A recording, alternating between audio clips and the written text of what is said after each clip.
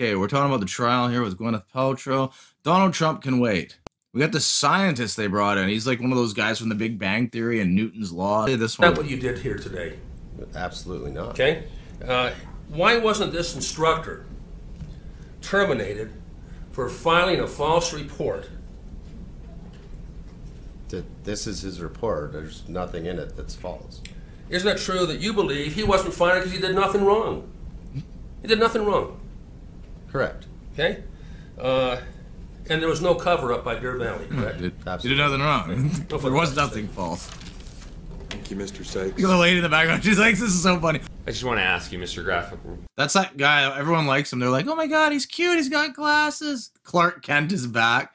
And he's got braces too. Oh my god. You were asked questions, not today, but before you left the stand yesterday by plaintiff's counsel about this uh, bad boot Bandana. uh, entry here. Do you see that? I do see that. And I, uh, um, do you remember Bad boot? that was sort of a, a, a minor issue, and, and he was asking why that would be long, but other major issues might not. Can you explain what is Well, a bad boot? It- it- Uh, yeah. and yeah, what would it require on? of Oh, a yeah, patrol, that's, uh, a patroller who came upon that kind of a problem? You know, I'm not exactly sure what this bad boot issue was, but um, it Bring that back. could be that a buckle was broken. Yeah, because could uh, sir, that- we've got a bad boot. Sir, sir, we've got a bad boot up on uh, the on the bunny hill. Bad boot, bad boot. We're gonna need some backup here, doctor. You're gonna have to forget about this Ebola patient. We got a case of bad boots. Like, I haven't seen a case of bad boot this bad since Ben Affleck and This Batman. section here, 1202, again, I'll use this little laser pointer. In the nature of the injury discussion, it says skier collision and disorientation. Do you know who wrote that? I don't know who wrote Not it. exactly Um, sure. Whoever is manning the dispatch Norm uh, is the person who who puts these entries in.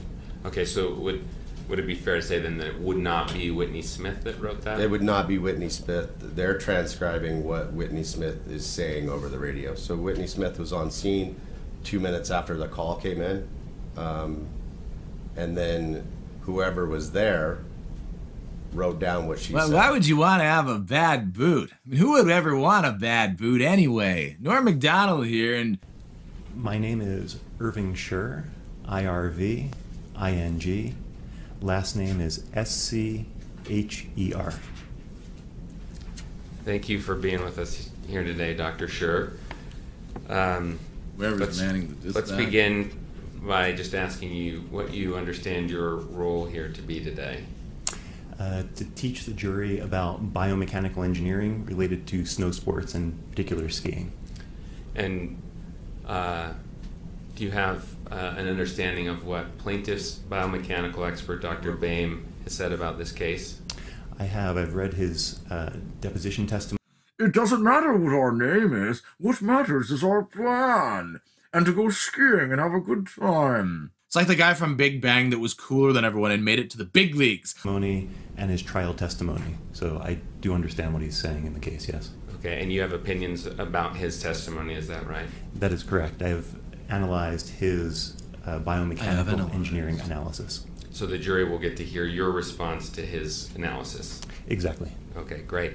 So before we get to that, let's talk about your background and training so they understand why uh, you and not me are, are, are on the stand. Sure. Uh, Where'd you get that did you go tie? school? I did my Bachelor's of Science and Engineering at the University of Pennsylvania. I majored in mechanical engineering. Let's see Paul Allen's tie. And did you do a PhD thesis? I did. And can you explain what you worked on? for Sure. Um, I, I was uh, the last in a line of what we called skiologists. Um, I Okay, okay. Uh, the last in the line. I was the last in the line of skiologists. I was the last of the skiologists. studied the biomechanics of alpine skiing. I uh, created load cells, so those are uh, devices that measure the forces, and I put them in between the skis and the bindings. And uh, I had different instrumentation on skiers, and it was the first time, or at least that I'm aware of, He's hot. Biomechanical engineering is the application of physics and mechanical engineering to the human body, but in a forensic sense, um, it's what links the event to the injury. So if you have some type of event, and there's forces and motions in the event, in the accident. The forces are applied to a person. There's internal forces on their, like in their body at the joints or something like that. The amount of force and the amount of motion it takes to create damage to the body, that is biomechanical engineering.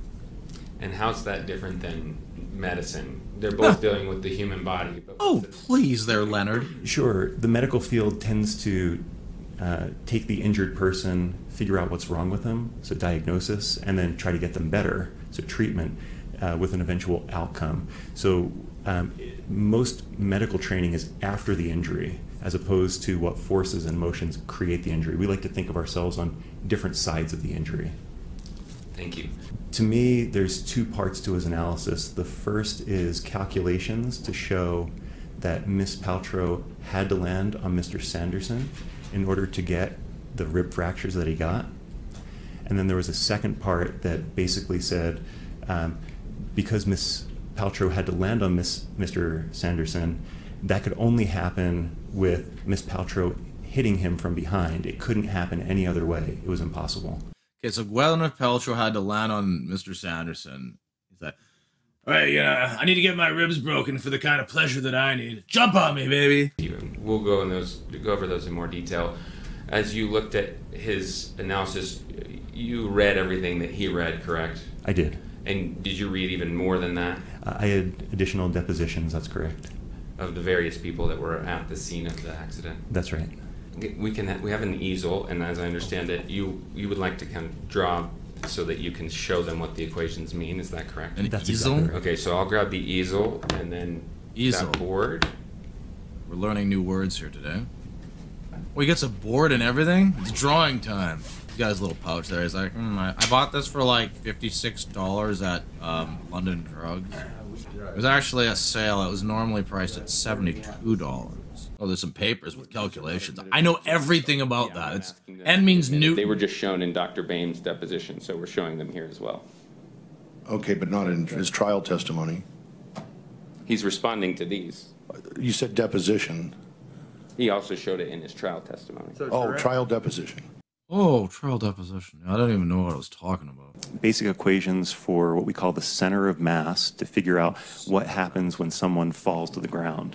Uh, center of mass is if you were to balance someone on, on your finger, the point that you'd hold them at so that they stay balanced. Um, it's usually a little bit um, below your belly button, kind of midline, front to back, midline, left to right. Um, and so if you took the person's, all of the person's weight, all the person's mass, and put it into one point, that would be the point that you're interested in. So that's what Dr. Boehm is doing in these calculations, is he's using that point for Mr. Sanderson. And this first part here, where he has this, um, that's an equation, x is position, so he's saying there's a certain distance that center of mass falls, and you can see that over here. That's three and a half feet, or he does it in meters, mm-hmm. 1.0668 1.0668 meters. So center of mass falls to the ground. He's saying that there's no initial falling position, that, that's fine. No initial falling velocity, v is velocity.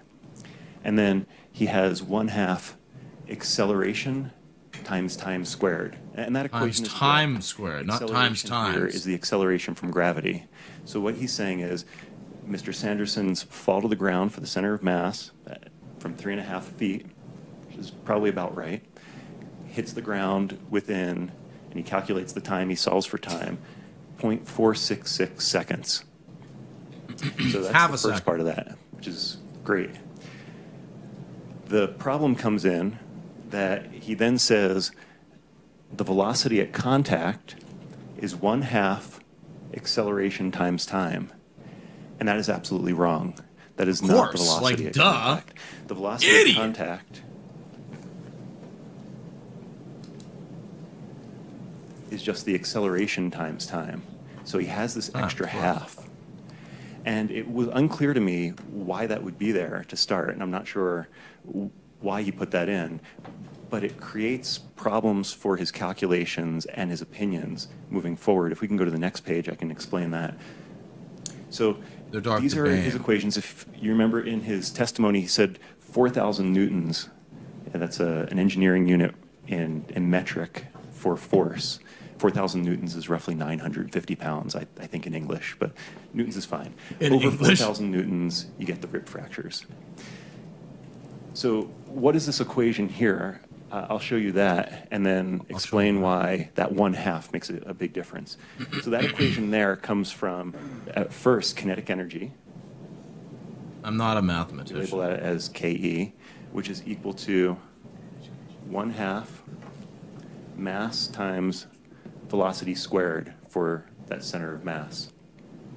And then he's saying, okay, Mr. Sanderson, as he hits the ground, has a certain kinetic energy. That energy has to go somewhere. So what happens is a force is applied from the ground to his center of mass, and he decelerates over some distance. So you can see here he has three inches written here. That that's important. So this kinetic energy has to be taken up by some force over a distance. That's some amount of work, and that will equal the kinetic energy. And then he divides both sides to get the force. The force. The distances cancel on this side. So the force on Mr. Sanderson is one half mass times velocity squared divided by distance. And that's exactly what we have here. We have one half mass, velocity squared, and distance. Remember, he's doing this in metric, so that 136 Yeah, Canadians. Yeah, 136 times 2.2, buddy. that's equal to about 300 pounds. That's some good math skills right there. So here he has Miss, Miss Paltrow and Mr. Sanderson's mass put together. So in this fall, he's saying, okay, the kinetic energy of both of them is needed here during contact. But can we go back to page five? Um, he uses the velocity here, the 2.29, that has the one half in this. So if we go to the next page, yeah. So you can see he's using the wrong velocity. What happens is if you use the wrong velocity in here, let's do beams as, call this wrong. Wrong velocity. So what you get is one half mass times one half acceleration times time. About time. 4,000 something, right? Oops, that's squared. There we go. Divided by distance. Distance, And. And that's the right timeline. This is just like the alternate timelines in Back to the Future, part two. Yes! is one half mass What the volume there? They edited that calculation out. It was acceleration times time squared. Acceleration. So that one half goes into this equation. What does that mean? That means that this half gets squared, it becomes one fourth. So the Four. force that Dr. Boehm calculated for this landing it's four times was less. actually one fourth of the force he should have calculated. He was off by a factor of four. So it shouldn't be 4,680 newtons. It should be 18,600 and some newtons. Actually, I have it. You say here. 18,000? Wait, what? Um, 18,678 newtons. So Yeah, he write that was down. off Let's by quite a bit.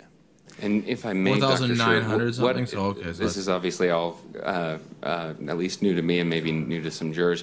Wh- What, in the end, uh, is, is the takeaway there? If there's that much of a mistake, So there's there's two things. One is if there were 18,000 newtons applied to Mr. Sanderson's chest, we would expect much worse injuries. The biomechanical engineering literature for much less than that has Yeah, like his his internal organs would have exploded. It would have been like three. It would have been like four Gwen Gwyneth Paltrow jumping on you. Ah, goopy goopy goo. many more rib fractures, internal injuries, all sorts of things. We don't see any of that for Mr. Sanderson. But the real takeaway and, and the importance in this case is the mass here. So because he does the one quarter, he needs the mass. Oh, he needs the mass to be 136 kilograms. Now, if you redo the calculations correctly, with with just Mr. Sanderson's mass. So Mr. Sanderson is about 80 and a half kilograms or roughly kilograms. 177 pounds, at least according to the medical records. If you do the calculations with the correct equations Wow. and only his mass, you get over 4,000 newtons when he lands, actually.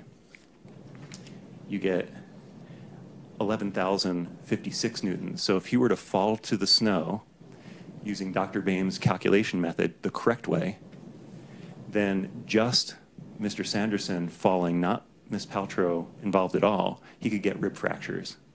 Just by himself. This is not quite correct overall. Normally, we use what's called effective mass. So Yeah, all of effective mass. Mr. Sanderson's mass wouldn't go through his chest. Maybe there'd be some force on his legs. If he hit his head, some force on his head. We typically would say maybe 50% of his mass would be appropriate for effective mass. So instead of the 80 kilograms, we would do And actually, I should put over here, this winds up being 11,000 newtons. And if we do the 40 kilograms instead for Mr. be like so, 5,500 about. um, and that's, uh, and we use the correct equation, we get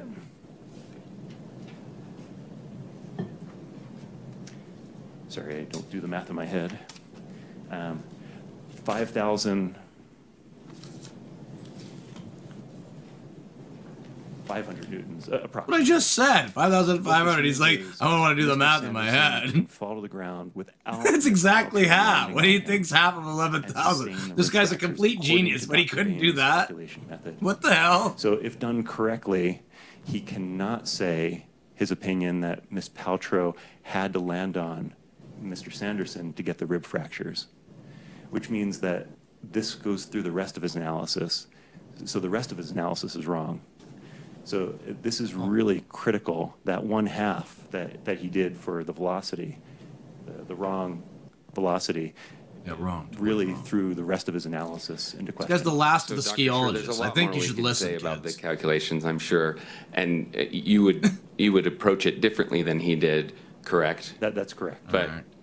given the way he did it, if he did it correctly, you're saying that the um, the, the conclusions that he came to are inconsistent with his opinion. That's correct. Yeah, it's basically him just saying, it's time to wrap things up, Mr. Fancy Big Bang Theory guy. His last name is Sure. That's how smart he is. I haven't seen a case of bad boot this bad since.